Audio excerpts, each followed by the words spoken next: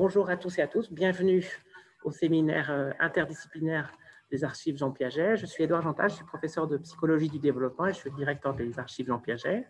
Donc, j'ai le grand plaisir euh, d'accueillir Catherine Martinet et sa collègue, mais là, elle va vous dire un petit mot, qui, par la pensée, sera avec nous.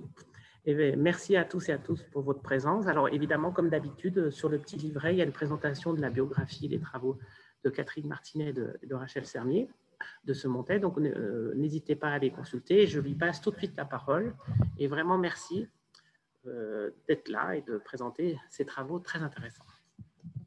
Voilà, ben bonjour, bonsoir à tous et à tous. Eh bien, je tiens à excuser déjà ma collègue Rachel Sermier-Desmontet qui a croisé le virus de la Covid et qui se réjouissait de venir vous présenter nos travaux, mais qui ne sera pas là ce soir. Donc, je vais être toute seule à vous présenter euh, la recherche que nous avons menée dans le cadre de l'équipe de, de, recherche Elodie. Donc, Elodie, c'est enseigner la lecture de manière optimale aux élèves ayant une déficience intellectuelle. Donc, c'est un projet de recherche qui a été subventionné par le Fonds national suisse de la recherche scientifique et on l'a terminé l'année dernière. Donc, notre équipe de recherche Rachel et moi-même sommes donc responsables de ce projet et nous avons des collaboratrices qui travaillent avec nous. Donc Anne-Françoise de Chambrier, qui est professeure à la HEP, Anne-Laure pardon, Linder, qui est collaboratrice scientifique à la HEP, Nathalie Meli, qui est assistante doctorante, et nous avons deux partenaires, Britt Marie Martini-Vuillemin pardon, et Céline Chatenoux, qui sont toutes les deux à l'Université de Genève. Donc, notre projet, nous voulions développer, donc c'était notre première idée, de développer avec et surtout pour les enseignants un outil d'enseignement de la lecture pour les élèves qui présentent une déficience intellectuelle moyenne. Et nous avions idée de construire un outil et ensuite de l'évaluer, donc d'évaluer son efficacité. Avant toute chose, eh bien, on sait que tout nouvel outil, il est généralement voué à l'échec s'il est trop éloigné des conceptions didactiques des enseignants de leur savoir-faire, de leur pratique d'enseignement habituelle. Et donc, si l'outil s'éloigne trop de ces pratiques habituelles, eh bien, l'outil ne sera pas utilisé. Donc, l'outil, il doit être le meilleur compromis entre les résultats de la recherche, ce qui est le souhaitable, et les exigences du métier, le raisonnable, tel que le disait donc Wagou et en 2013. Donc, pour euh, développer notre euh, outil d'enseignement, nous avions besoin de connaître les données scientifiques les plus récentes. Donc, je vais vous faire une première partie, vous parler des données scientifiques portant sur l'apprentissage de la lecture, sur euh, l'apprentissage de la lecture auprès d'élèves qui présentent une déficience intellectuelle. Donc, nous avions besoin de connaître les données scientifiques les plus récentes mais nous avions besoin également de connaître et de comprendre les besoins des enseignants et notamment des enseignants spécialisés donc qui ont en charge des élèves qui présentent une déficience intellectuelle, quelles sont leurs pratiques professionnelles, quels sont leurs besoins, leurs habitudes, etc. Donc ce travail-là a dû être fait en amont de la conception de notre outil. Donc, je vais commencer par la partie connaître les données scientifiques les plus récentes. Euh, apprendre à lire, euh, correspond à l'acquisition. Enfin, pour apprendre à lire, pardon, on a besoin de deux choses de comprendre ce que l'on lit et d'être capable de décoder euh, le texte que l'on est en train de lire. Donc, pour être un bon compreneur en lecture, on doit développer des compétences de compréhension. Donc, vous voyez sur ce modèle, c'est la partie rouge de ce modèle, et puis des compétences d'identification des mots. Et c'est surtout ces compétences-là qui nous intéressent et que nous voulions enseigner aux élèves qui présentent une déficience intellectuelle.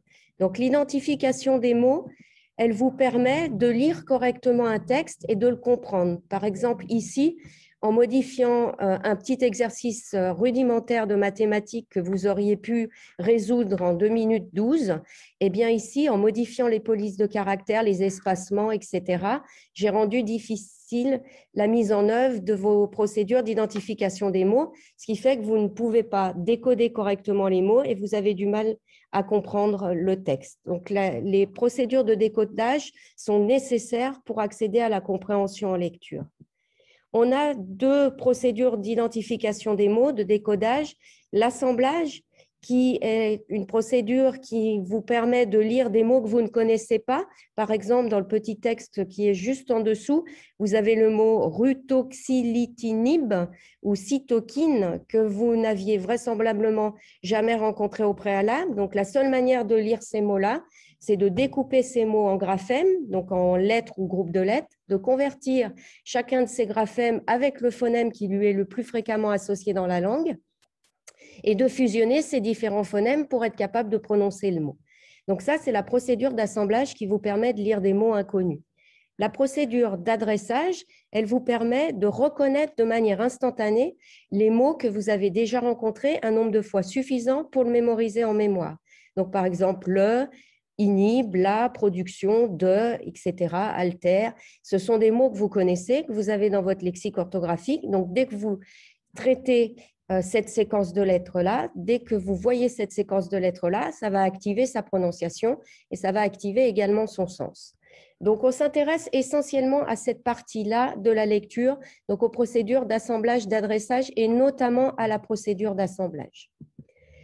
Donc, euh, que nous dit la recherche par rapport à l'enseignement de la lecture? On s'est référé à des méta-analyses, essentiellement des revues systématiques, pour euh, avoir un niveau de preuve qui soit le plus élevé. Donc, je vais vous dire ce que les méta-analyses à l'heure actuelle nous disent de l'enseignement de la lecture auprès du tout venant. Et ensuite, je vous dirai ce que, euh, l'on sait de l'apprentissage et de l'enseignement de la lecture auprès des élèves qui présentent une déficience intellectuelle. Donc, commençons par les élèves tout venant. On a une euh, grosse méta-analyse qui a été réalisée dans les années 2000 sur l'enseignement de la lecture qui dit qu'il est nécessaire de fournir aux élèves un enseignement qui soit structuré et explicite de cinq piliers. C'est les cinq piliers du National Reading Panel. Donc, le premier pilier, c'est la conscience phonologique. Donc, il faut enseigner la conscience phonologique. C'est cette euh, capacité que vous avez à percevoir les différents sons que contiennent les mots et à être capable de manipuler ces différents sons que contiennent les mots. Donc, ça peut être la syllabe, la rime, l'attaque ou le phonème, qui est la plus petite unité de son. Le deuxième pilier, c'est les conversions graphophonémiques et le décodage. Donc, d'acquérir les conversions entre les lettres, groupes de lettres et les phonèmes qui leur sont les plus fréquemment associés. Et le décodage, c'est d'être capable ensuite bah, de fusionner ces phonèmes-là pour prononcer le mot. Donc, quand on parle d'enseignement qui privilégie les conversions graphophonémiques et le décodage et la conscience phonologique, on parle souvent de méthodes phoniques ou phoniques en anglais. Donc, ce sont les méthodes qui sont préconisées euh, dans la littérature scientifique. Il y a trois autres piliers également euh, qui ont été euh, décrits dans le National Reading Panel. Vous avez l'enseignement du vocabulaire, donc l'enseignement des mots, du sens des mots, également l'enseignement de la fluence en lecture qui permet après au lecteur d'avoir une lecture fluide et plus, plus il a une lecture fluide et plus il sera facile pour lui de comprendre ce qu'il est en train de lire. Et puis le cinquième pilier qui est la compréhension de texte donc d'être capable de comprendre le sens littéral de texte, mais également d'être capable de comprendre les, inférences qu'il y a dans le texte, donc tout ce que le texte ne dit pas, mais dont on déduit le sens. Donc ces cinq piliers, là, euh, ont été décrits dans National Reading Panel et on parle d'un enseignement structuré et explicite. Alors, je vais faire un petit détour par l'enseignement structuré et explicite. Euh, en vous disant quels sont ces principes de cet enseignement-là qui fait partie de la famille des enseignements instructionnistes que l'on peut opposer à des modèles un peu moins structurés de type pédagogie de la découverte. Donc c'est un enseignement explicite, c'est un enseignement direct, mais qu'il ne faut pas confondre avec un enseignement frontal. Souvent, on lui attribue ce sens-là, mais je vais vous décrire les principes de cet enseignement explicite qui n'est pas du tout un enseignement frontal. Donc, l'enseignant va diriger l'activité de l'élève au moment où il ou elle aborde une nouvelle notion et va transférer cette activité-là progressivement chez l'élève. C'est lui qui va après réaliser l'activité. Et ce qui est visé dans le cadre d'un enseignement explicite, c'est vraiment la clarté cognitive. C'est-à-dire que les enfants savent ce qu'ils sont en train de faire, savent pourquoi ils le font, savent ce qu'ils sont en train d'acquérir, savent les savoirs qu'ils sont en train d'acquérir, etc. Donc les intentions et les objectifs visés par la leçon sont toujours explicités aux élèves avant le début de la leçon euh, pour que les enfants sachent où ils vont. Alors, pour caractériser l'enseignement explicite, euh, cet enseignement direct et systématique, il y a trois verbes. Le premier, c'est dire. Dire parce qu'on rend explicite aux élèves les intentions et les objectifs visés dans la leçon. C'est ce que j'ai dit euh, précédemment. Donc, avant de débuter, on explique ce que l'on va euh, travailler dans la leçon. Donc, on va rendre explicite et disponible pour les élèves les connaissances antérieures dont ils, auront besoin. C'est-à-dire que dans cette leçon, on sait qu'on va devoir activer telle connaissance et on va réactiver ces connaissances avec les élèves avant d'aborder une nouvelle notion. Le deuxième verbe, c'est montrer. L'enseignant va rendre la demande explicite pour les élèves en exécutant lui-même devant ses élèves la tâche à accomplir et en énonçant le raisonnement suivi à haute voix. Donc, il va expliquer ce qu'il est en train de faire, comme s'il mettait un haut-parleur sur sa pensée pour permettre à l'enfant, aux enfants, pardon, aux élèves, de comprendre les tâches qu'il est en train de réaliser. Et le troisième verbe qui caractérise l'enseignement explicite et l'enseignement direct, c'est guider. Guider, c'est chercher à ce que les élèves rendent explicite leur raisonnement implicite en situation de pratique. Donc, guider les élèves vers une explicitation des stratégies qu'ils ont utilisées, des connaissances qu'ils ont acquises, et en leur fournissant euh, de manière très régulière une rétroaction appropriée afin qu'ils se, construisent, pardon, des connaissances, qu'ils construisent des connaissances adéquates avant que les erreurs ne se cristallisent dans leur esprit. Donc, on a toujours des feedbacks comme ça, correctifs, systématiques, pour que l'erreur ne soit pas mémorisée. Donc, voilà les trois verbes qui caractérisent l'enseignement explicite. Et on a également trois étapes qui vont caractériser cet enseignement explicite. C'est la mise en situation, l'expérience d'apprentissage et l'objectivation. Alors, la, situation la mise en situation euh, commence par une présentation de l'objectif, d'apprentissage. Ensuite, on traduit cet objectif-là en résultat d'apprentissage escompté, c'est-à-dire que à la fin de la leçon, chaque enfant, chaque élève sera en mesure de, et on, leur, on explique aux élèves ce qu'ils seront en mesure d'exécuter, de réaliser à la fin de la leçon, et on active et on vérifie et au besoin on enseigne les connaissances préalables, c'est-à-dire qu'on s'assure qu'il a les connaissances prérequises pour réaliser la tâche, et s'il ne les a pas, dans ce cas-là, on ne commence pas l'activité, on va enseigner ces, connaissances-là, on va enseigner ces stratégies, ces procédures, et c'est dans un deuxième temps qu'on débutera la tâche. La deuxième étape, c'est l'expérience d'apprentissage dans lequel on distingue trois phases, le modelage, la pratique guidée, la pratique autonome. Alors, le modelage, c'est l'enseignant qui va réaliser la tâche. Et quand il réalise la tâche devant les yeux des élèves, il va verbaliser ses stratégies. C'est comme s'il mettait un haut-parleur sur sa pensée. Donc, il va rendre tous ses processus cognitifs, tout son raisonnement aussi transparent que possible, et les enfants vont entendre ce que l'enseignant est en train d'effectuer. L'enseignant va attirer l'attention des élèves sur les informations à sélectionner à utiliser. Donc, il va guider comme ça les élèves sur les informations à prendre. Certains enfants ont des difficultés à sélectionner dès le départ la bonne information. Donc là, on va attirer l'attention des élèves sur les informations qu'ils doivent utiliser. On présente toujours l'information en petite quantité et l'enseignant, lors de cette phase de modelage, il a recours très souvent à des exemples et à des contre-exemples. Ça, c'est la première phase. S'ensuit la deuxième phase qui est la pratique dirigée guidée, où l'enseignant propose de réaliser des tâches semblables à celles utilisées lors du modelage aux élèves. Et il fait travailler les élèves en petits groupes. Et il va s'assurer pendant cette phase de pratique guidée, dirigée, où il est très, très, très présent et où il va étayer au maximum euh, les élèves, il va s'assurer qu'il y a une participation active et fructueuse de tous les élèves dans le groupe. Donc, il va reformuler les stratégies les stratégies qu'il a utilisées, il peut reformuler les stratégies que sont en train d'utiliser les élèves, il peut refaire des démonstrations, il va fournir des rétroactions, faire des feedbacks aux élèves pour leur dire ça c'est correct, non, attention, tu n'as pas pris la bonne information. Donc là, il est toujours là pour guider. Euh, il interroge très régulièrement les élèves pendant la réalisation de la tâche et il va vérifier que tous les élèves aient bien compris avant de passer à la phase 3 qui sera la pratique autonome. Mais on va entraîner comme ça les élèves à réaliser l'activité avec l'aide de l'enseignant et on, estime qu'il faut qu'à peu près les élèves réussissent 80% euh, des activités pour passer après à la phase 3. Donc, on continue l'entraînement. Si les élèves ne parviennent pas à réussir à atteindre un niveau de performance qui soit à peu près de 80%, eh ben, on ne passe pas à, la phase 3.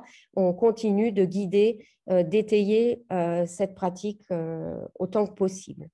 Si les enfants parviennent à réaliser l'activité avec du guidage, eh bien, on les met en situation après de pratique autonome où là, l'élève, il va réinvestir seul euh, ce qu'il a compris bah, du modelage et ce qu'il a compris de ses propres réalisations lors de la phase 2 avec étayage. Il va continuer à parfaire sa compréhension de l'activité, il va s'exercer le plus possible et c'est le fait de s'exercer qui va faire qu'il va automatiser les nouvelles compétences qu'il a apprises et il va atteindre après un niveau de maîtrise élevée grâce aux multiples occasions de pratique, donc le plus élevé possible. Donc on entraîne, on demande aux élèves de s'entraîner le plus possible. Et quand les élèves ont acquis euh, un niveau euh, suffisant, eh bien dans ce cas-là, on peut dire que la leçon est terminée.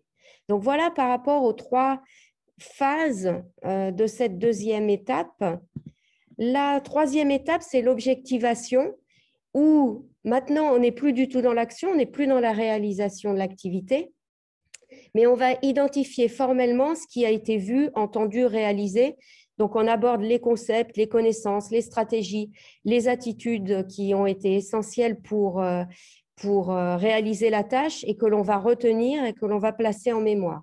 Donc, euh, c'est ce moment-là qui va favoriser l'intégration et l'organisation des stratégies, des connaissances et des concepts appris en mémoire. C'est généralement à ce moment-là où on se pose, où on fait une synthèse avec les enfants, une synthèse qui peut être écrite ou une synthèse orale à la fin de la leçon pour dire, ben voilà, on a réussi à parce qu'on a appris que, etc. Donc là, c'est la phase de l'objectivation. Donc vous voyez, il y a trois phases dans l'enseignement explicite qui est euh, un enseignement direct et systématique. Cet enseignement explicite, il a euh, été euh, démontré comme étant euh, relativement efficace, notamment dans une méga-analyse qui a été réalisée par Bissonnette et ses collaborateurs. Alors, une méga-analyse, c'est encore plus haut qu'une méta-analyse, c'est-à-dire que c'est une analyse de méta-analyse. Donc, Bissonnette et ses collaborateurs ont réalisé une méga-analyse et en ont conclu que deux modalités pédagogiques montraient une influence élevée sur le rendement des élèves et que la première, c'est l'enseignement explicite et la deuxième, c'est l'enseignement réciproque. Donc voilà, on a vraiment de nombreux arguments à l'heure actuelle pour dire que l'enseignement explicite est celui qui favorise les apprentissages des élèves. Ça fonctionne, cet, euh, cet enseignement explicite, pour une grande catégorie d'élèves, que ce soit pour les jeunes élèves, pour les élèves dits à risque ou en difficulté, pour les élèves qui apprennent lentement, pour les élèves de milieux défavorisés, pour les élèves plus performants, pour des élèves avec déficience intellectuelle, pour des élèves avec des troubles 10. Tout un tas de recherches montrent que cet enseignement est efficace. Mais que dit-on maintenant, que peut-on dire, pardon, de l'enseignement de la lecture auprès des enfants qui présentent une déficience intellectuelle? Eh bien, on a euh, fait une revue de la littérature qui montre qu'il faut que l'enseignement soit explicite, systématique et avec un degré d'intensité suffisant. C'est-à-dire qu'on doit au moins, enfin, les recherches montrent qu'il faudrait enseigner avec des séquences de 20 à 45 minutes, au moins 3, 4, 5 fois par semaine, euh, proposer des leçons de lecture aux élèves avec déficience intellectuelle. Il faut que cet enseignement soit adapté au niveau des élèves, qu'il soit adapté à ce public-là et aux caractéristiques des élèves, et notamment adapté, et pour qu'il soit adapté aussi, il faut que les enseignants soient capables d'évaluer régulièrement les compétences des élèves qui présentent une, déficience intellectuelle. Et c'est vrai qu'il y a très peu d'outils, voire quasiment pas d'outils, notamment en francophonie, qui permettent aux enseignants d'évaluer les acquis des élèves pour ne pas travailler sur des notions qui seraient acquises ou alors pour ne pas euh, passer un peu trop rapidement sur des notions qui ne seraient pas. Donc, euh, il faut des évaluations régulières donc pour s'adapter euh, au niveau de l'élève. Il faut également que l'enseignement permette un engagement des élèves dans l'activité, très tôt de donner du sens aux apprentissages. Donc, quand les enfants, quand les élèves commencent à apprendre à décoder, ben, ils vont commencer à apprendre à décoder des petites syllabes, mais très rapidement des petits mots qui ont du sens et très rapidement des phrases pour après être capable de décoder des petits, des petits textes. Donc, il faut favoriser l'engagement des élèves, donc euh, leur, proposer des activités aussi motivées, et notamment bah, le fait d'être capable de lire un petit texte ou de lire des phrases bah, joue déjà dans la motivation des élèves. Et le sixième point, c'est que cet enseignement euh, de la lecture auprès d'élèves avec déficience intellectuelle, il doit intégrer les composantes d'un enseignement de la lecture reconnu comme étant probante. Donc ça, je me réfère à ce qui a été dit au préalable dans les, dans les revues de littérature précédentes et puis dans la méta-analyse que je vous ai proposée. Donc un enseignement phonique qui travaille la conscience phonologique, les correspondances graphème-phonème et le décodage, la capacité donc à fusionner les différents phonèmes entre eux. Donc voilà ce que dit la revue de la littérature concernant l'apprentissage de la lecture aux élèves qui présentent une déficience intellectuelle, mais on n'avait pas trouvé de méta-analyse. Euh, contrairement euh, à ce que j'ai dit précédemment sur les élèves euh, de l'ordinaire, sans difficulté particulière, on a des méta-analyses à disposition. Pour ce public, pour le public qui nous intéressait, eh bien, on n'avait aucune méta-analyse à disposition. Donc, ce que l'on a décidé avant de démarrer notre recherche proprement dite, c'était de réaliser une méta-analyse, donc d'évaluer l'efficacité des méthodes phoniques auprès d'élèves avec déficience intellectuelle légère, moyenne et sévère, et d'essayer d'identifier les composantes pédagogiques et les conditions d'implémentation qui rendent ces méthodes les plus efficaces. Donc, on a fait une revue systématique des études qui étaient publiées en 1990 et 2016. On a répertorié 14 recherches euh, dans 13 articles différents.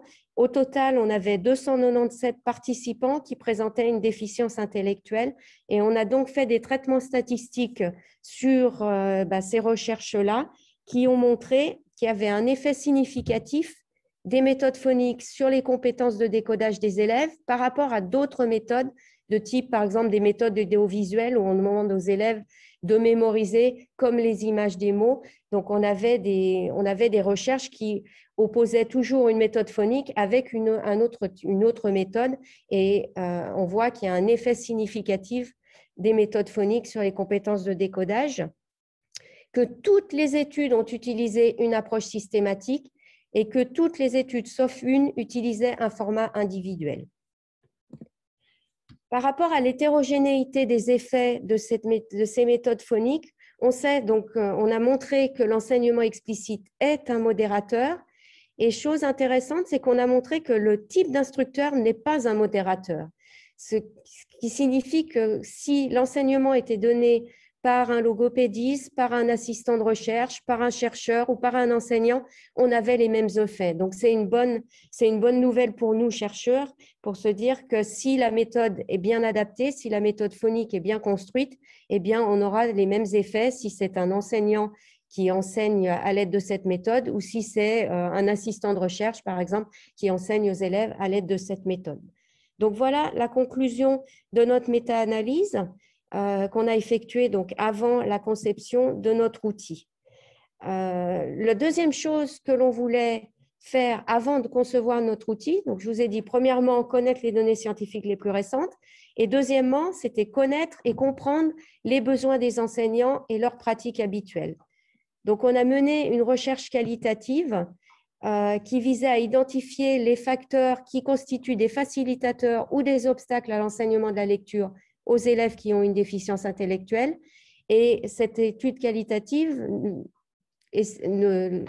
pardon, dans cette étude qualitative, pardon, nous voulions décrire l'enseignement de la lecture qui était dispensé à ce public-là, quelles sont les composantes qui sont enseignées, est-ce que ce sont les mêmes que celles qu'on retrouvait dans le National Reading Panel, comment sont-elles enseignées, euh, avec quelle fréquence, etc. Donc euh, l'analyse, l'étude qualitative tendait à évaluer bah, les pratiques habituelles des enseignants en termes d'enseignement de la lecture auprès d'élèves qui présentent une déficience intellectuelle. Donc, on avait des participants de quatre cantons francophones, Vaud, Valais, Neuchâtel et Fribourg, des enseignants spécialisés de 24 classes. On avait à peu près 35 enseignants, sauf erreur, de 24 classes pour élèves avec une déficience intellectuelle. Par rapport au profil de ces enseignants, on avait 57% d'enseignants spécialisés qui étaient formés, donc qui est titulaires d'un diplôme d'enseignement spécialisé. On avait 16% d'éducateurs, d'éducatrices en formation à l'enseignement spécialisé et on avait 27% de professionnels qui étaient non formés à l'enseignement spécialisé, mais qui avaient le statut d'enseignant spécialisé dans les, euh, dans les institutions spécialisées dans lesquelles euh, ils travaillaient. Donc, euh, ces enseignants, ces classes, c'était des classes d'enseignement spécialisées dans des institutions. Elles renfermaient entre 3 à 8 élèves, en moyenne 5 élèves, avec parfois bah, des niveaux très hétérogènes contrairement à ce qui peut être observé, par exemple, en Amérique du Nord, où on a des classes pour élèves qui présentent une déficience intellectuelle moyenne et puis des classes qui euh, renferment des élèves qui ont une déficience intellectuelle beaucoup plus sévère, eh bien, en, Suisse, on a euh, des classes qui renferment tout type de public. Donc, on a vraiment des, profils très hétérogènes. L'âge des élèves allait de 6 à, de 6 à 12 ans. Donc, on avait trois méthodes de recueil de données. Des entrevues de groupe euh, qui ont été effectuées auprès des 35 enseignants qui étaient en deux parties. Donc, il y avait deux entretiens. un premier entretien pour savoir euh, comment se passait l'enseignement euh, dans la, dans la classe et un deuxième entretien qui visait plus spécifiquement à connaître euh, les besoins des enseignants et à savoir comment ils percevaient l'enseignement de la lecture auprès du public concerné. Nous avions également des observations de leçons de lecture. On a demandé aux enseignants de mener deux leçons avec des élèves non décodeurs, donc de mener des leçons comme si euh, comme, ils ont l'habitude de le faire, mais des leçons avec, à l'intention d'élèves non décodeurs dans la classe. Et puis, on a analysé des projets éducatifs individualisés. On a pris deux projets euh, par classe, généralement, pour des élèves non décodeurs euh, qui présentent une déficience intellectuelle et qui sont non décodeurs. Donc, on a ces trois types de, de recueil de données on a analysé ces, pardon, on a analysé ces données, on a fait des accords interjuges euh, pour chacune de ces analyses et les accords interjuges variaient entre 92 et 97 à peu près euh, d'accords positifs, d'accords interjuges. Donc, je vais commencer par les entrevues. Euh, les obstacles que rencontrent les enseignants, eh bien, c'est le manque de connaissances sur l'enseignement-apprentissage de la lecture, leur manque de connaissances sur euh, les étapes, étapes par lesquelles doivent passer euh, les élèves pour apprendre à lire et à écrire, quelles sont les composantes en jeu dans la lecture-écriture.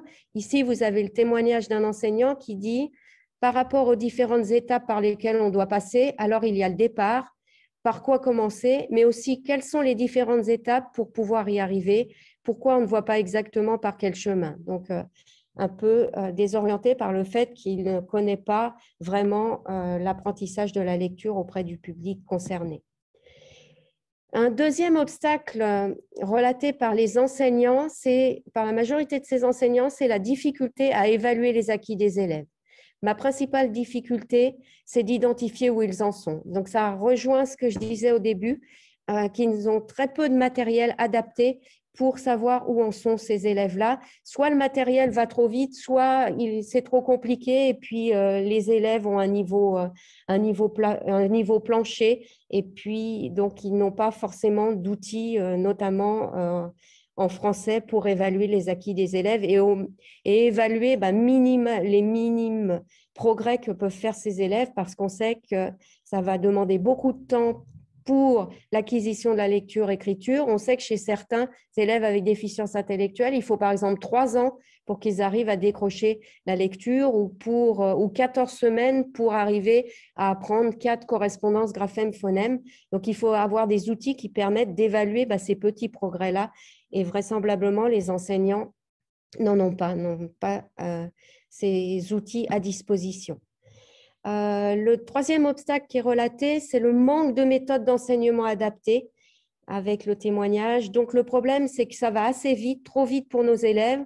On peut utiliser ce matériel un petit moment et tout d'un coup, il n'y a plus rien qui est adapté à eux. Donc, comme les outils euh, d'évaluation, eh bien, les enseignants sont bien dépourvus et n'ont pas d'outils pour enseigner de manière efficace la lecture auprès de leurs élèves, alors qu'ils existent, mais ils existent notamment euh, en milieu anglophone. Et les outils qu'ils vont utiliser, bah, ils vont trop vite, euh, ils ne sont pas adaptés, il n'y a pas suffisamment d'étayage, etc. Donc, ils, ils rencontrent comme obstacle ce manque de méthodes d'enseignement adaptées. Le quatrième obstacle que les enseignants ont dit éprouver, c'est la difficulté de certains élèves à s'exprimer à l'oral. on sait pourtant que le fait que l'élève soit non-verbal ou ait des difficultés de communication, ne rend pas impossible l'acquisition de la lecture-écriture, mais regardez ce que les enseignants disent, c'est je trouve que quand l'articulation n'est pas là ou difficilement là, d'entrer dans des choses de lecture ou de lecture, c'est un sacré handicap de base. Moi, je ne peux pas parler de lecture parce que je travaille avec des enfants qui ont entre 5 et 8 ans et qui sont plutôt non-verbaux. Donc, un obstacle que les enseignants euh, évoquent, c'est le fait d'avoir des enfants avec des troubles massifs de la communication, alors que la recherche montre qu'on peut tout à fait enseigner la lecture à ce public-là qui présente et une déficience intellectuelle et des troubles de la communication orale, sous réserve d'avoir des outils adaptés à ce public. Et le dernier obstacle, c'est la fluctuation des acquis chez les élèves très habiles un jour, ils savent, le lendemain, ils ne savent plus. Donc oui, effectivement, euh, d'un jour sur l'autre, ben, un élève peut être capable de lire une syllabe et le lendemain, il aura complètement oublié. Donc, il faut répéter, répéter pour que euh, l'élève puisse acquérir ces connaissances-là et puis qu'elles soient stockées en mémoire et suffisamment bien stockées en mémoire pour être réactivées plus tard. Mais effectivement, de très nombreux enseignants relatent ça. C'est un jour, il sait, le lendemain, il ne sait pas. Donc, c'est assez démoralisant pour les enseignants.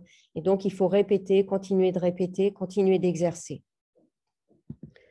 Par rapport aux facilitateurs, alors, les éléments facilitateurs, ils parlent des connaissances pratiques acquises sur le tas.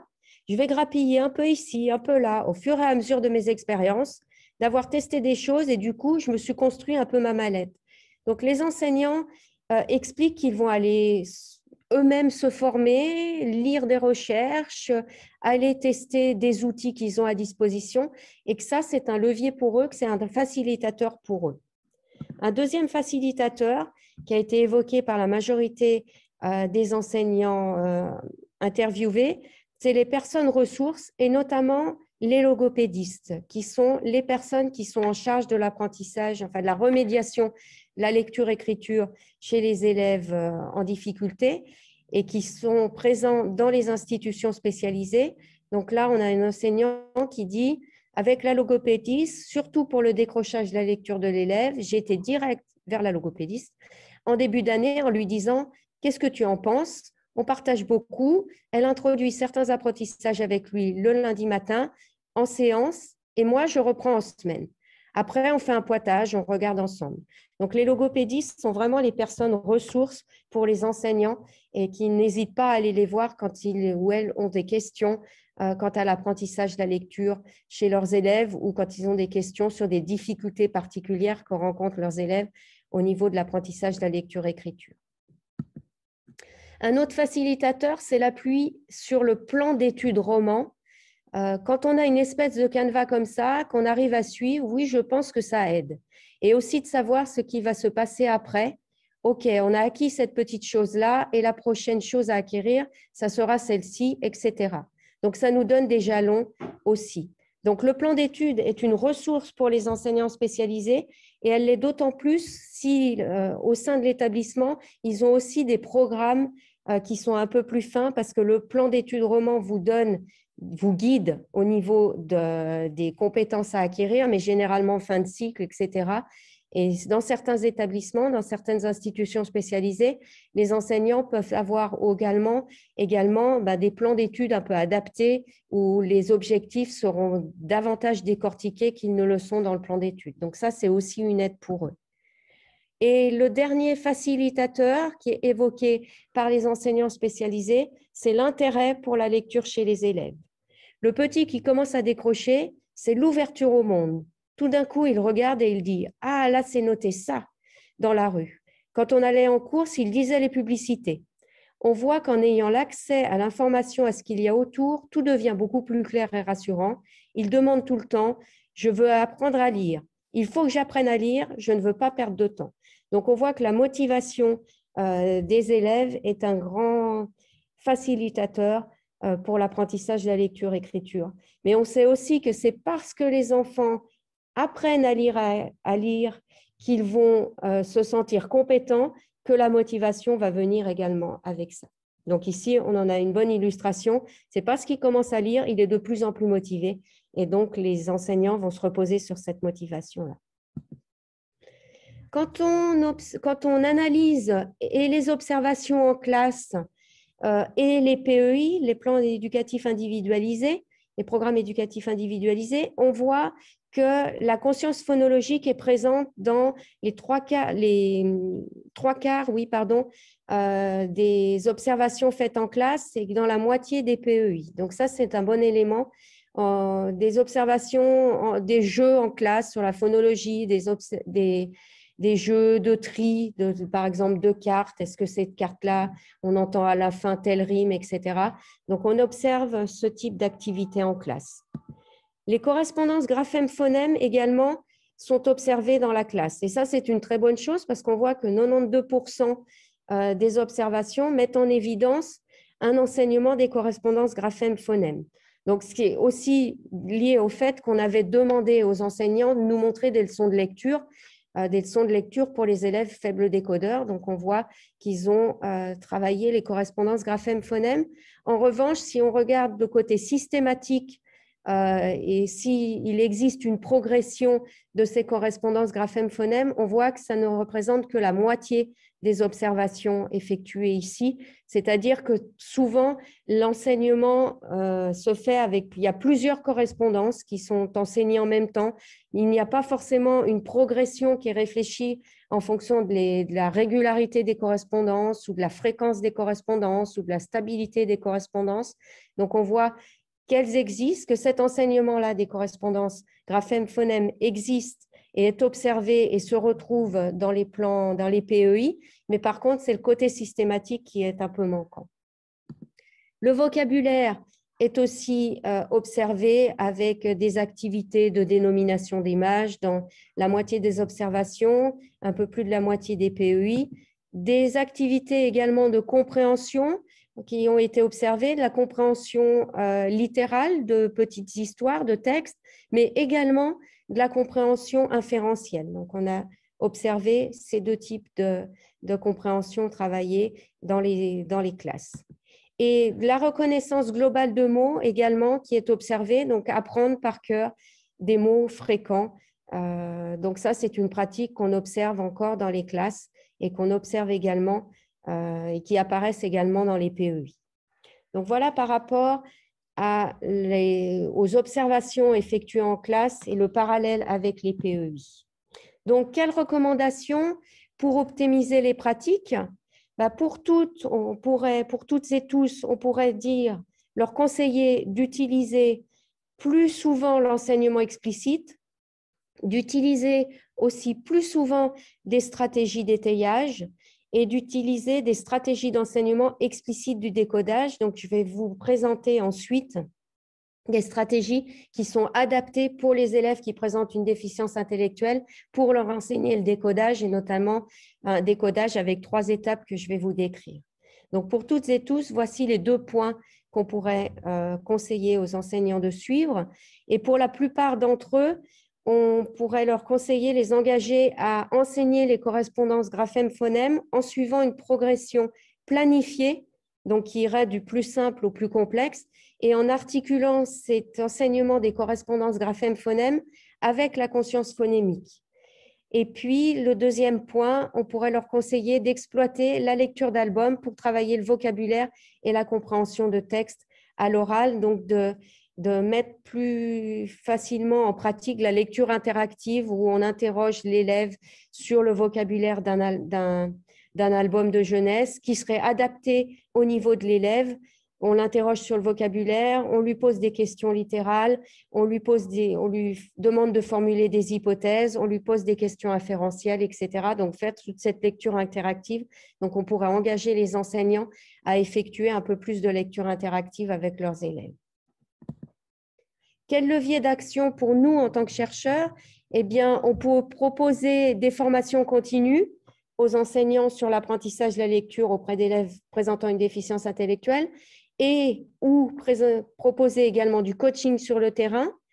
On peut créer et on a créé donc du matériel d'enseignement que je vais vous présenter et on peut proposer des études collaboratives donc avec les enseignants, donc construire des outils pour les enseignants, mais surtout travailler avec les enseignants pour que ça réponde, pour que ces outils, les, outils construits répondent le plus possible aux besoins des enseignants. Alors, je vais vous présenter donc maintenant euh, l'outil Decodi. Donc, euh, c'est l'outil qu'on a construit dans notre équipe de recherche. Donc, je vous ai mis ici que tous les droits d'auteur sont intégralement reversés à des associations caritatives. Euh, c'est un outil qui a été édité au mois d'avril dernier, donc aux éditions RETS, donc il est tout neuf. Et je vais vous décrire un peu les leçons telles qu'elles sont présentées dans cet outil.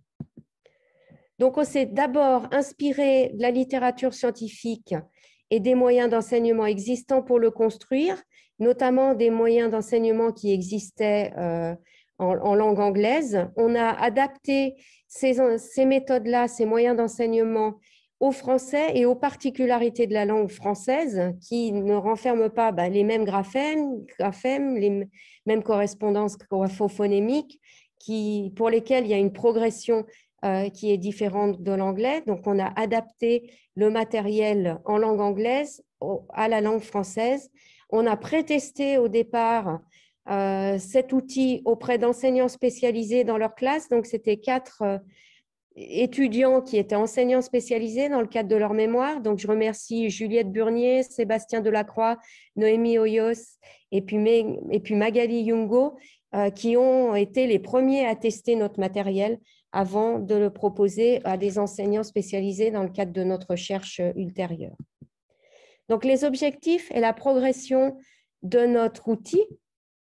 On a des objectifs en termes de conscience phonologique et une progression où on a un travail sur les sons, on identifie les phonèmes.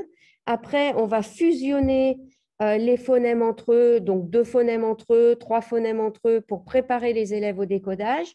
On va également allonger euh, les, phonèmes dans les mots. Ça, ça va nous permettre de préparer les élèves à l'encodage. Donc, par exemple, dans fait, bah, de faire fait pour préparer l'enfant à percevoir les deux sons qu'il y a dans fait quand il va devoir écrire ce mot-là, par exemple, enfin cette syllabe-là. Donc, on a des objectifs au niveau de la conscience phonémique, des objectifs au niveau des correspondances graphèmes-phonèmes, en passant des graphèmes, des correspondances graphèmes-phonèmes qui sont les plus stables et puis les plus fréquentes au départ, celles qui sont allongeables, comme par exemple le R, le L, le F, donc et puis après, on aborde les, phonèmes qui ne sont pas allongeables. Donc, on voit voilà, une progression du plus simple vers le plus complexe. Et dans le décodis, donc niveau 1, qui a été édité donc au mois d'avril, on a différents modules et vous voyez, donc au départ, on a des correspondances graphèmes-phonèmes très stables, le A, le R, le U, le I, et puis avec des graphèmes, des phonèmes allongeables. Et puis petit à petit, on complique et on arrive à avoir des correspondances avec des graphèmes de deux, euh, de deux lettres, mais qui sont relativement stables, qui sont très stables. Par exemple, le OU, qui euh, renferme effectivement deux lettres, mais qui euh, se prononce toujours ou dans la langue française. Donc, on l'a introduit assez rapidement. Le CH pour le son che, etc. Donc, vous voyez, il y a une progression euh, qui a été réfléchie au préalable par rapport aux correspondances graphèmes-phonèmes qu'on enseigne aux élèves. Le décodage, ben, de la même manière, on a une progression Au départ, on va demander aux élèves de convertir, de décoder, pardon, d'abord pardon, des syllabes consonnes, voyelles, consonne, voyelle, consonne. On introduit petit à petit euh, des lettres muettes qu'on va griser. Donc, on va utiliser euh, la couleur gris pour montrer aux élèves que ce sont des lettres qui ne vont pas devoir rendre sonores. Donc, d'abord des CV, CVC, des consonnes, voyelles, etc. Puis, petit à petit, la complexité. On va introduire petit à petit euh, la notion de majuscule, de ponctuation. Ils vont parvenir à lire des petites phrases pour finalement parvenir à lire des petits textes de quelques phrases.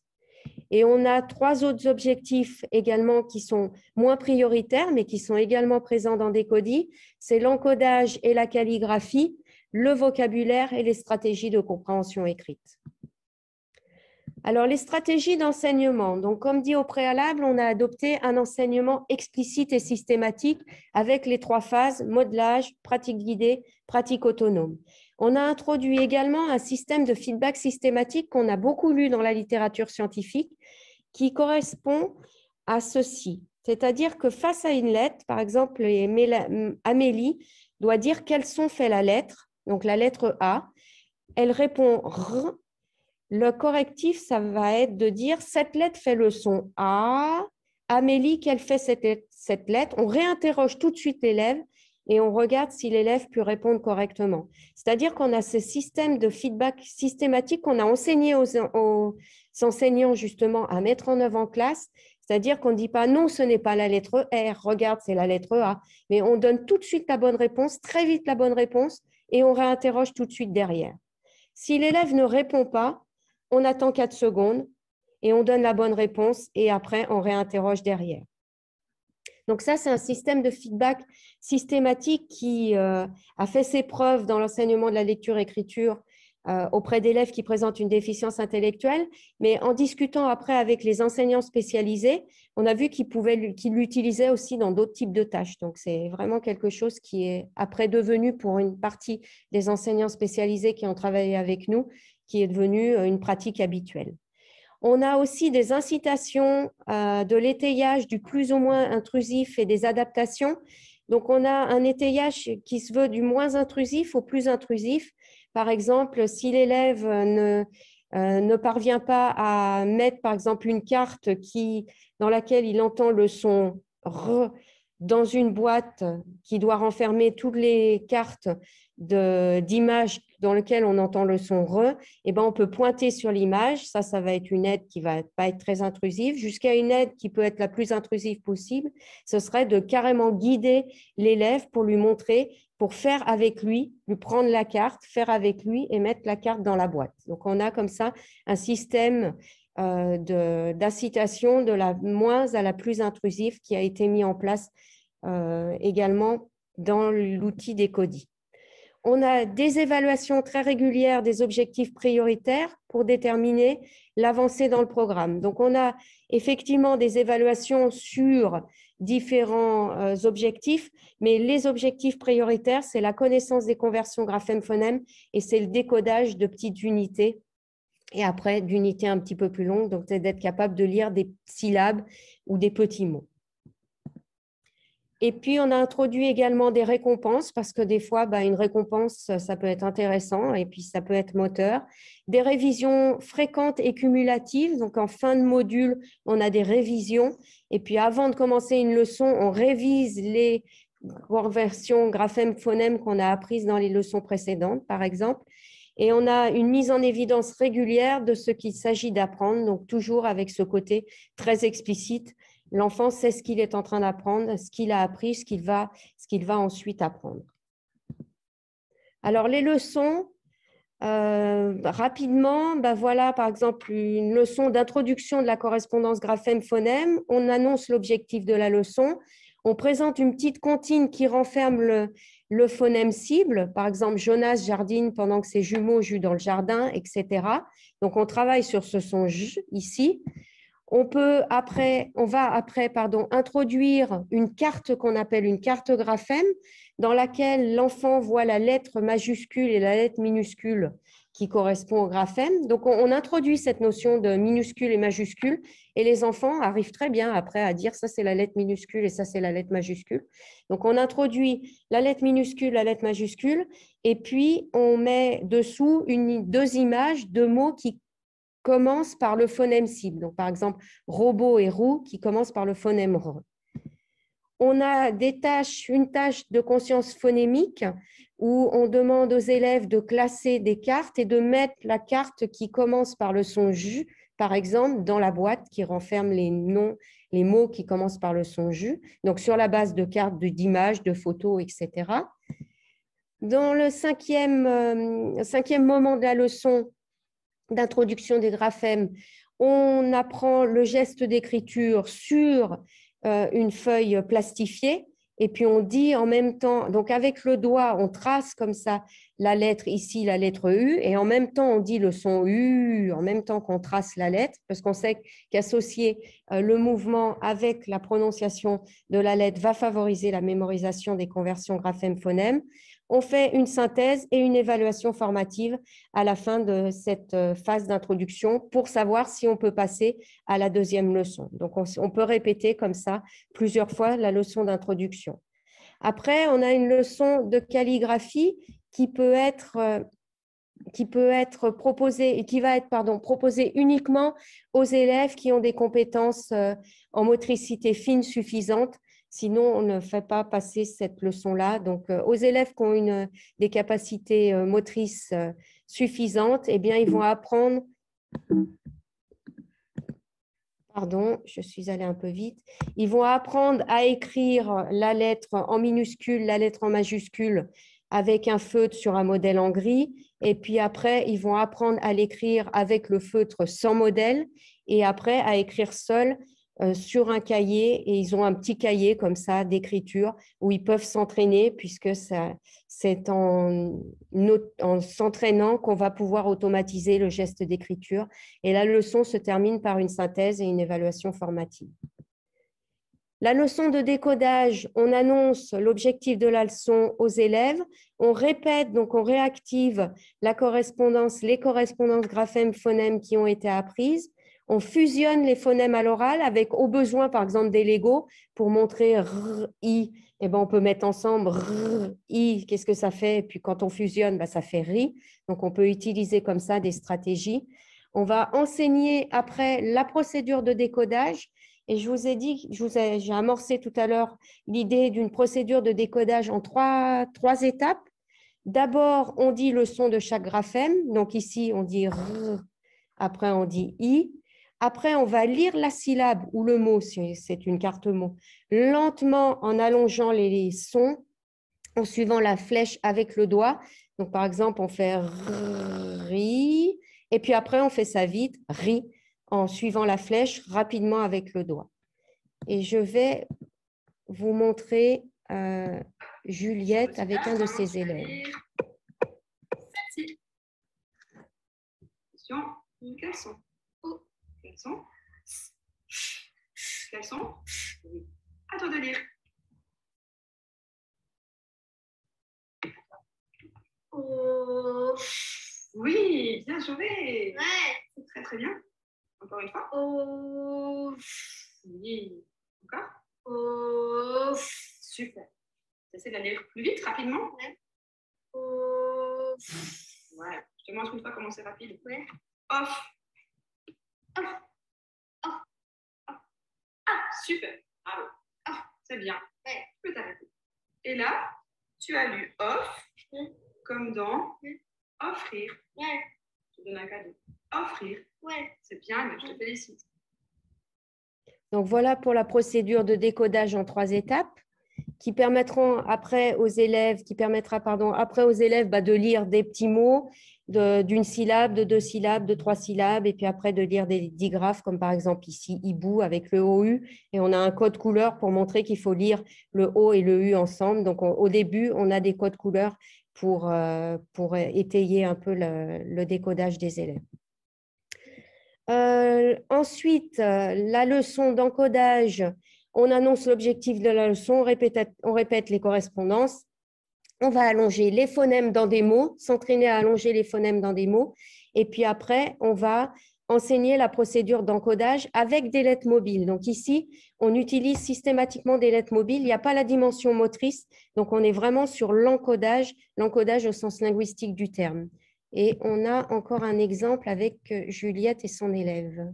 On va écrire le début du mot lune.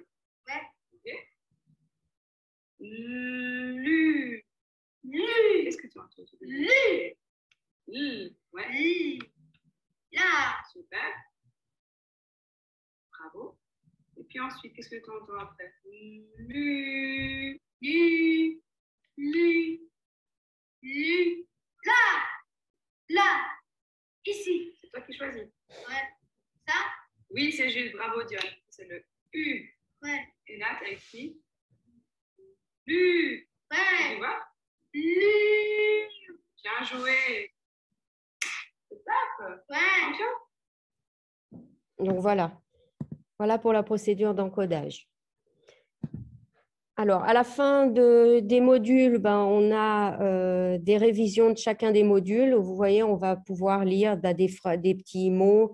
Euh, et puis, on va aussi apprendre, faire apprendre de manière un peu plus globale ben, des mots très fréquents. Euh, qui sont ici en bleu et les enfants vont pouvoir lire bah, des petites phrases avec des conversions graphème-phonème qui auront été apprises. Donc 100% de conversions graphème-phonème apprises. Quand on présente des phrases ou des textes, c'est 100% des conversions qui ont été apprises. Alors, après avoir créé ce matériel, on a voulu évaluer l'effet de ce programme sur les progrès des élèves de 6 à 13 ans, donc qui avaient une déficience intellectuelle, donc avec nos enseignants qui ont mis en œuvre pendant près d'une année, donc euh, c'est la méthode Décodi.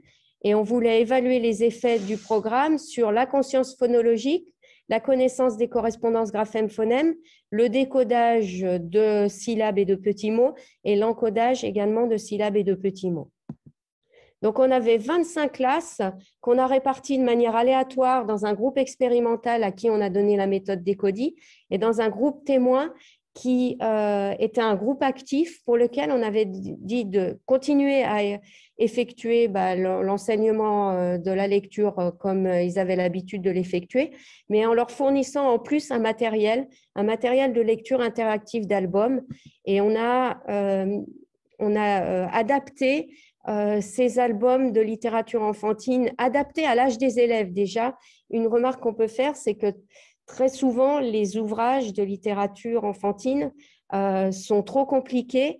Alors, les enseignants vont utiliser des ouvrages euh, adaptés pour des élèves de 5-6 ans avec des préadolescents.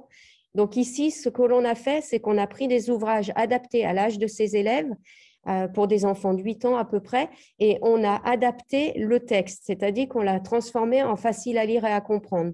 Donc, on a mis des petites étiquettes comme ça sur chacun des ouvrages qu'on a donnés aux enseignants et ils pouvaient après, c'est un petit rabat, après, ils pouvaient regarder le texte d'origine et on leur a fourni ce matériel-là. Euh, donc, on a fourni ce matériel-là au groupe contrôle. On avait donc 25 classes, 50 élèves avec une déficience intellectuelle en école spécialisée. On en a perdu deux en route, donc 48 à la fin de l'étude. La, demande, c'était que ces élèves soient non décodeurs, qu'ils connaissent au moins trois correspondances graphème-phonème, c'est-à-dire qu'ils soient quand même au début, enfin, de, l'apprentissage, au tout, tout, tout début de l'apprentissage de la lecture-écriture, mais qu'ils aient déjà la notion de, de lettres et de sons et qu'ils soient capables de s'exprimer à l'oral. Donc, de septembre, en septembre, on a effectué tout un tas de pré-tests euh, et notamment sur les dimensions qu'on voulait évaluer, donc conscience phonologique, connaissance des correspondances graphème-phonème, décodage et encodage, comme je l'ai dit. Euh, on a proposé pendant l'année scolaire le matériel Elodie au groupe expérimental qui euh, a bénéficié également de deux jours de formation. Donc, avant d'attaquer et d'utiliser le matériel Décodi, on a formé les enseignants pendant deux jours pleins à, l'enseignement de la lecture-écriture, l'enseignement de la lecture-écriture, de la lecture pardon, auprès d'élèves avec déficience intellectuelle, les pratiques les plus efficaces pour ces élèves et ensuite à la méthode Décodi elle-même. Et pendant toute l'implémentation de la méthode, les, les, chercheuses allaient en classe les visiter deux ou à une fois par mois. Donc au début, deux fois par mois, rendaient visite à l'enseignant euh, et observaient une leçon. Et puis après, les, rencontres étaient espacées. Alors donc ça, c'est le groupe expérimental. Pendant ce temps-là, ben, le groupe témoin euh, continuait d'enseigner la lecture comme à son habitude. Et le post-test, il a eu lieu en mai 2018. Donc, on peut dire qu'on était avec des élèves qui avaient une déficience intellectuelle moyenne, autour de 50. Euh, au niveau de la conscience phonologique, ils avaient des performances très faibles parce que, sauf erreur, le test était évalué sur 54 et ils ont obtenu à peu près 8 euh, sur ce test-là qu'ils connaissaient quelques conversions graphème-phonème et ils étaient tous non décodeurs, donc ils n'étaient pas capables de lire les pseudomots et des mots que l'on leur avait présentés et qui étaient issus d'un test, euh, d'un test étalonné. Alors, par rapport à la fidélité de l'implémentation dans le groupe expérimental, on a entre 82 et 100% euh, de, leçons qui ont été observées qui répondaient à ce qui avait été demandé par les chercheuses. Euh, la fréquence hebdomadaire des leçons était de 2,5, enfin de 2,6. On avait pourtant demandé au départ à ce que les élèves puissent bénéficier de 3 à 4 leçons. C'était une condition sine qua non pour faire partie de l'expérience, enfin de la recherche, mais, mais en fait, euh, la réalité a fait que les enseignants n'ont pas pu mettre en place plus de deux et demi leçons par semaine et des leçons entre 20 et 45 minutes. Donc, vous voyez que ce n'est pas non plus beaucoup, beaucoup pour ces élèves qui, ont, qui sont en grande difficulté. Euh, par rapport à l'enseignement dans le groupe témoin, les, les conversions graphème-phonème, euh, ont été euh, enseignés. Il y avait un entraînement de la conscience phonologique chez 15 des 27 élèves et la fréquence hebdomadaire des leçons était un peu plus élevée. Elle était plutôt de 3 euh, plutôt que de 2,5 par rapport au groupe expérimental. Les résultats montrent qu'au niveau de la conscience phonologique et de la connaissance des, des lettres, euh, il n'y a pas de différence significative entre le groupe contrôle et le groupe expérimental.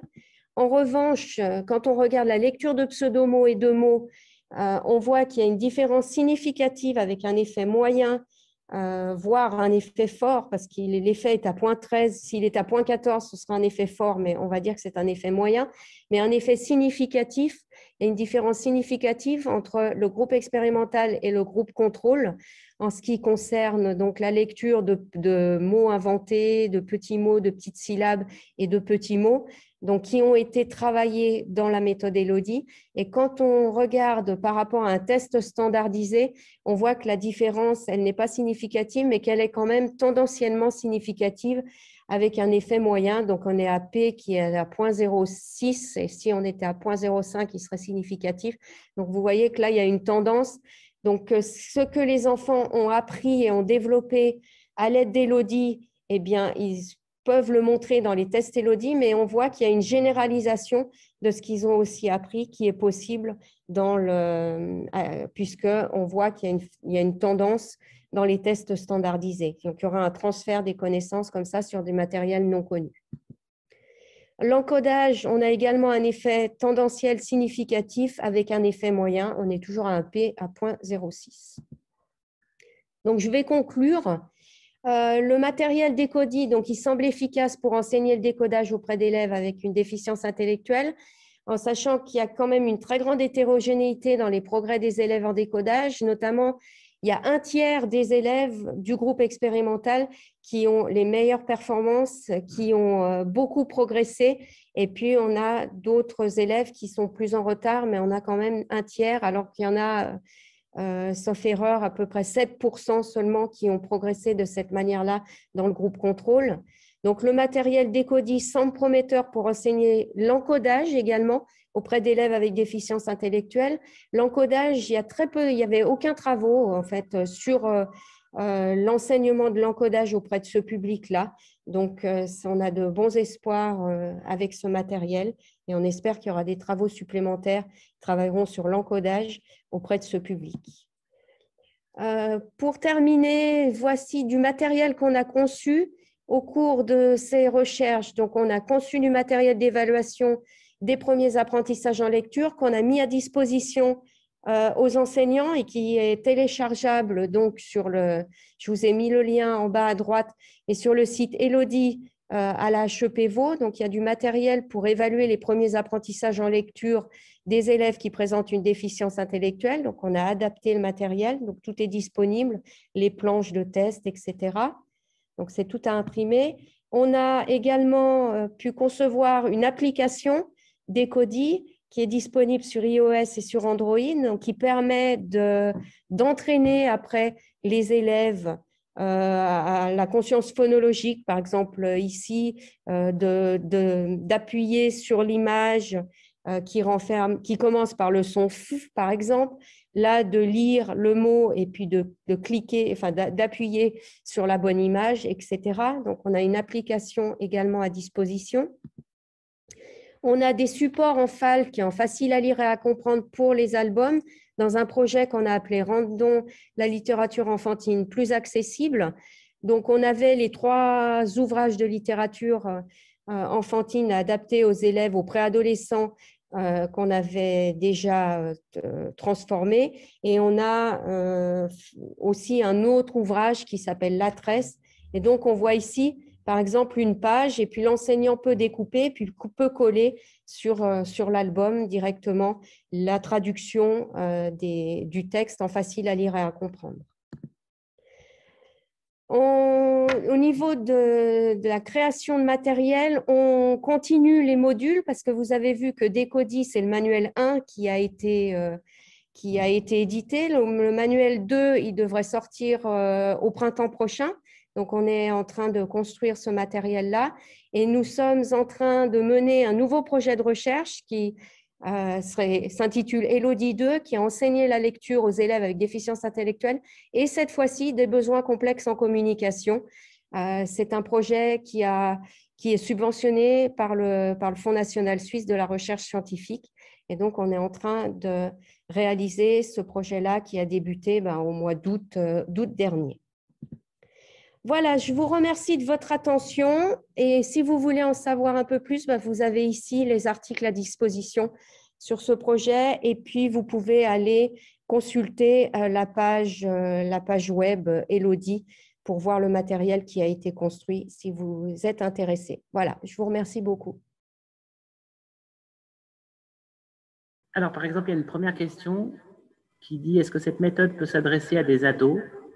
Est-ce qu'il n'y a pas un risque qu'il soit trop infantilisant? Alors, si, ce sont des ados avec une déficience intellectuelle et qui sont prélecteurs, enfin prédécodeurs, qui ne sont pas décodeurs au, au, tout début, oui, ça peut être adapté. Effectivement, après, euh, c'est du matériel qui euh, demande, il y a beaucoup d'étayage. Peut-être qu'avec ce type de public, il y aurait besoin de moins d'étayage, mais on peut l'adapter. Mais il faudrait s'inspirer de la progression euh, qui a été réfléchi au préalable. Et puis, si on peut aller plus vite, dans ce cas-là, on peut aller plus vite. Mais des élèves, des ados avec déficience intellectuelle. Oui, bonjour. Euh, c'était ma question. Euh, en effet, j'ai des ados déficients intellectuels. ils ont à peu près 15 ans.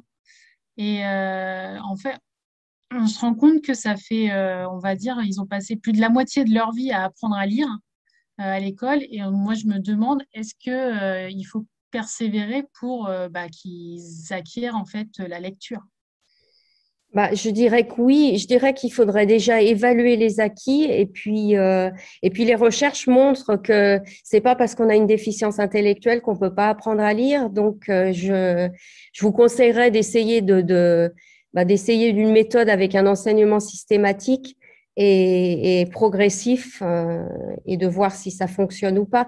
Mais en tout cas, les recherches, il y a de plus en plus de recherches qui montrent maintenant que l'apprentissage de la lecture auprès de ce public-là est tout à fait possible, sous, sous condition que la méthodologie soit adaptée, que les méthodes de lecture soient adaptées. Et c'est vrai que les élèves ont souvent, on a souvent euh, minimisé le potentiel d'apprentissage de ces élèves, euh, mais j'aurais tendance à dire qu'on peut continuer quand même à travailler avec eux sur l'apprentissage de la lecture-écriture. Catherine? Il y, a, ah. il y, avait une question de Clotilde Marceau.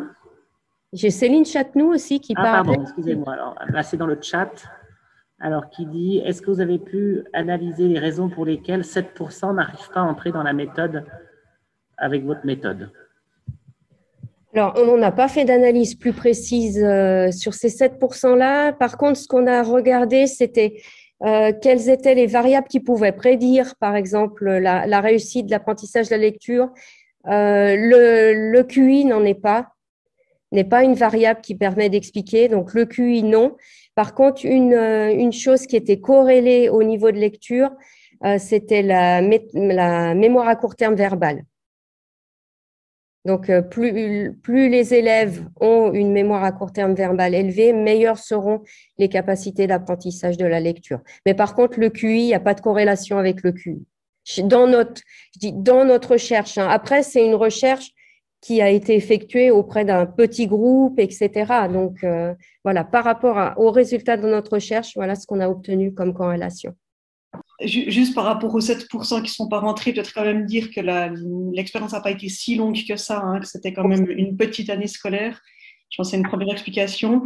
Mais que, deuxièmement, quand même, mais dans les expériences aux États-Unis où ils ont plus de recul que nous, il y a quand même toujours un petit pourcentage d'enfants qui ne répondent pas positivement, même avec euh, les pratiques les plus probantes qui soient. Donc, euh, peut-être aussi dire par rapport aussi à la question précédente sur les adolescents, euh, voilà, c'est aussi connu dans la littérature qu'il y a des enfants qui, euh, qui n'ont pas fait les progrès escomptés malgré euh, plusieurs tentatives. C'est pas, c'est peut-être pas complètement étonnant non plus. non, c'est même normal, parce que même dans l'apprentissage des enfants ordinaires, c'est la même chose. Ça marche pas pour tout le monde. Exactement. Je voulais pas. c'est parce que je me suis sentie interpellée par la question des adolescents, parce qu'on a conduit une recherche en parallèle au Québec, mais qui était plus euh, sur la compréhension en lecture dans le fond. Et puis, on est rentré euh, avec ces ados avec une approche euh, justement plutôt orientée sur la compréhension de certains textes et dans une approche structurée où ils exerçaient aussi des aspects de décodage, mais pas de façon systématique, mais quand même, et ils ont amélioré en entrant par la compréhension euh, certains aspects du décodage. Donc, euh, je pense qu'il ne faut surtout pas se dire qu'il y a un moment où il faut s'arrêter, mais peut-être prendre d'autres entrées que le décodage. Et c'est exactement ce que les, enseignants nous avaient demandé. Ils nous avaient dit, eh, mais est-ce qu'il faut qu'on continue à faire de l'acharnement, etc. Alors, ce n'est pas la question de éventuellement continuer avec... Euh, euh, là-dessus, mais en tout cas, continuer à, leur permettre de comprendre. Et à 15 ans, ils maîtrisent certaines notions euh, euh, du monde beaucoup plus que petits. Et en entrant par cette compréhension, pour leur permettre de comprendre certains aspects de la langue aussi. Donc, éventuellement, je pourrais aussi mettre le, travail, enfin les textes qu'on a fait en compréhension en lecture pour ces ados, mais il y a vraiment à réfléchir, en tout cas, les les imprégner hein, dans un bain, de les stimuler, de leur proposer quelque chose en lecture. Voilà, je voulais juste dire ça. Céline, si tu, si tu, les as sous la main, tu peux les mettre dans le chat, comme ça les gens peuvent Absolument, je vais faire ça. Je vais mettre le lien vers le site Adèle. Euh, on, a travaillé de, part et d'autre de l'océan, donc euh, oui, volontiers. Et là, il y a une question de, euh, de Pierre qui demande, je m'intéresse à un public TSA euh, il envisage de se diriger vers la recherche. Son idée pour favoriser l'automatisation des, euh, des, correspondances phonème-graphème serait de partir de l'encodage et non du décodage. Pourquoi préférez-vous la lecture à l'écriture? Alors, on, travaille les deux hein, dans Décodie. On travaille et le décodage et l'encodage. Le décodage euh, est plus simple en français, c'est-à-dire que les, correspondances graphème-phonème sont plus régulières que les, correspondances phonème-graphème. Donc, c'est pour ça qu'on est rentré dans le décodage. Et puis, euh, mais on a les deux, on a les deux aspects effectivement qui sont, qui sont travaillés dans Décodie. Pour en savoir plus, il faudra venir écouter la semaine prochaine le séminaire de Liliane Sprenger-Charol qui va détailler plus en détail toute cette affaire-là. Merci Céline pour l'adresse. Vous pouvez télécharger sur le chat tous les compléments. Est-ce qu'il y a d'autres questions? Serge a allumé euh, une vidéo. Donc, est-ce qu'il y a une question? Mais du coup, moi, j'entends rien du tout.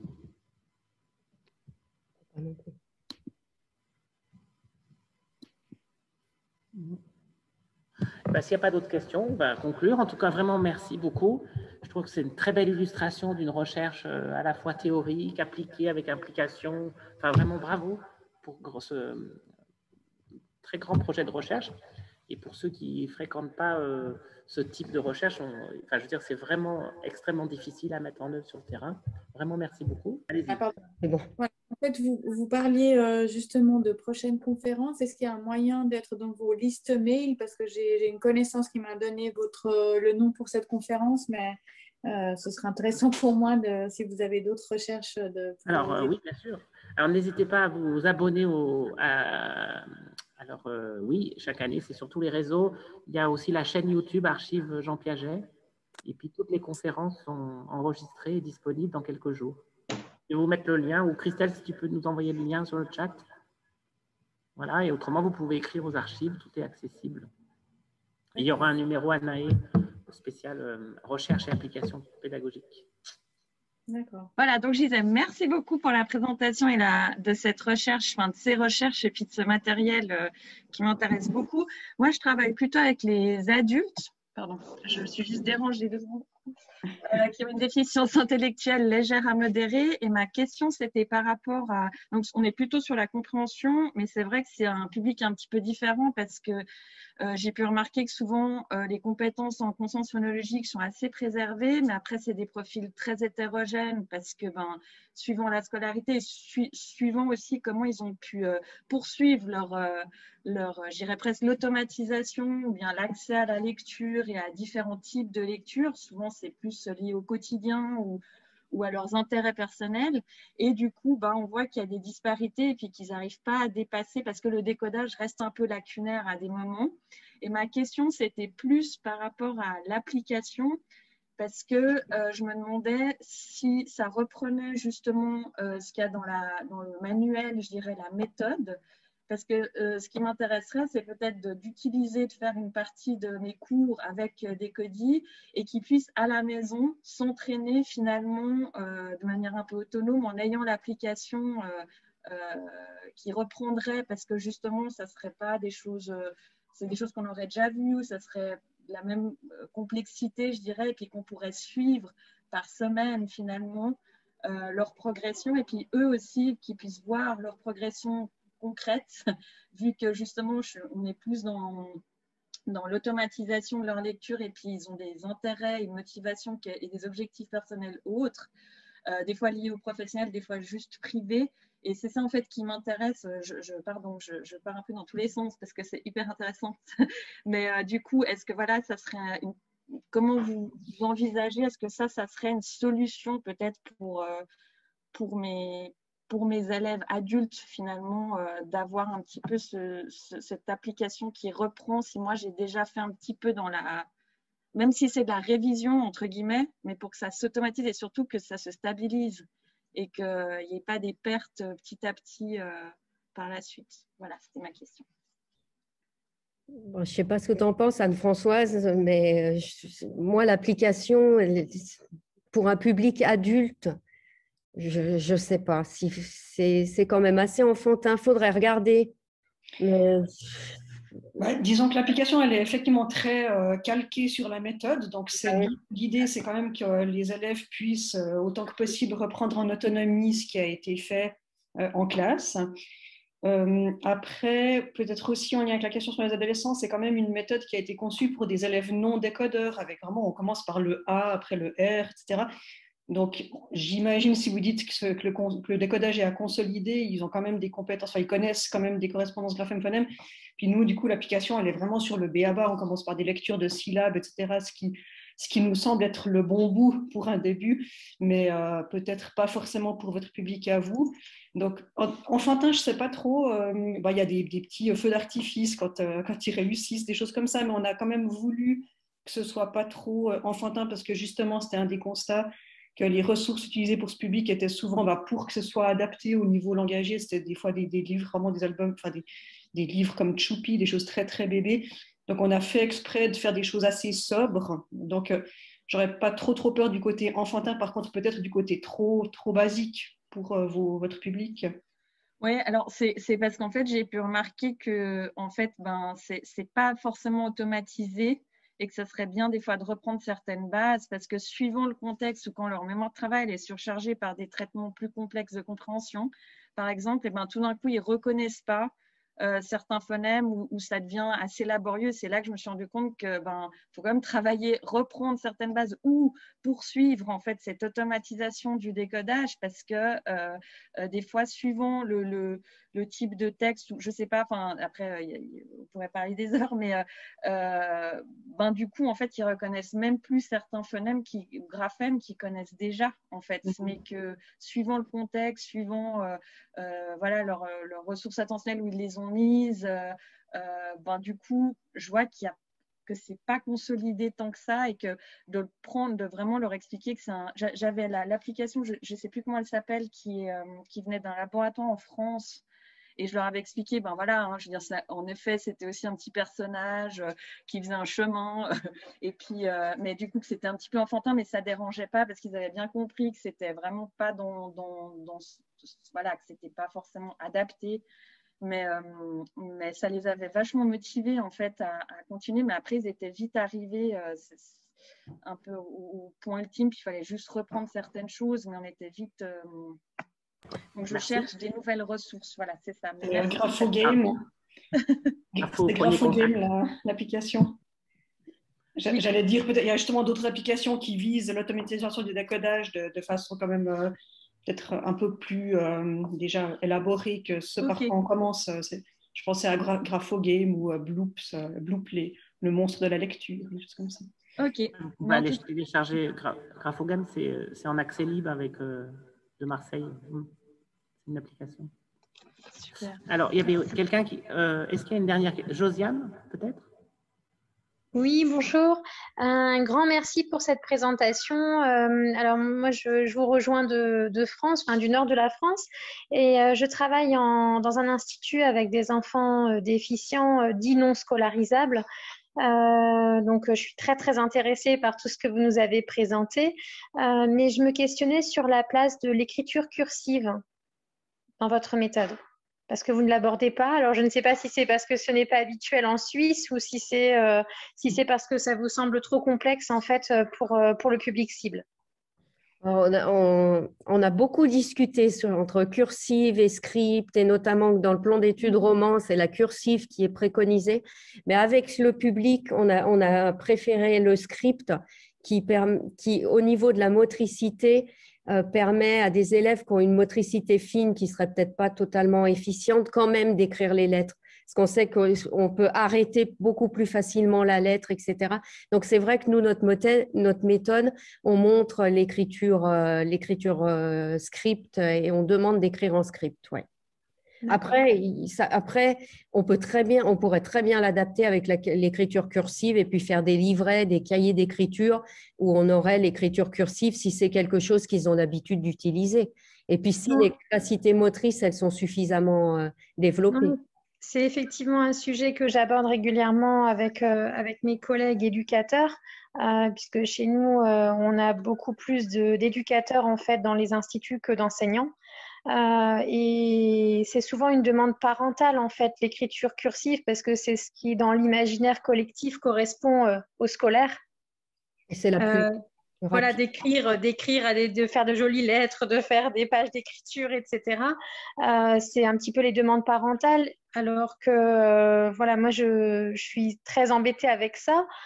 j'ai beaucoup d'enfants avec des troubles autistiques et c'est rajouter en fait un code supplémentaire euh, alors que l'écriture cursive, finalement, on la rencontre peu dans le, dans le quotidien, euh, dans les lectures, dans le...